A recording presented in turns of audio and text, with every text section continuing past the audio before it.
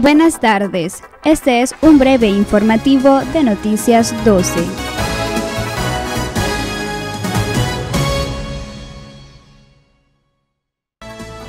Agentes policiales de auxilio judicial expulsaron a abogados de CPDH quienes buscaban información sobre líderes campesinos y agregan que la policía incumple con la ley de amnistía con la que fueron liberados en el 2019. Alto representante de Asuntos Exteriores de la Unión Europea, Josep Borrell, propone otras formas de presionar a Nicaragua sin tocar el acuerdo de asociación.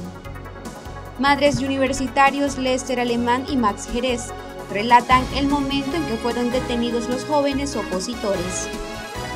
Ministerio de Salud emite alarmantes cifras de nuevos casos de COVID-19. En la última semana se registran 283 nuevos contagios.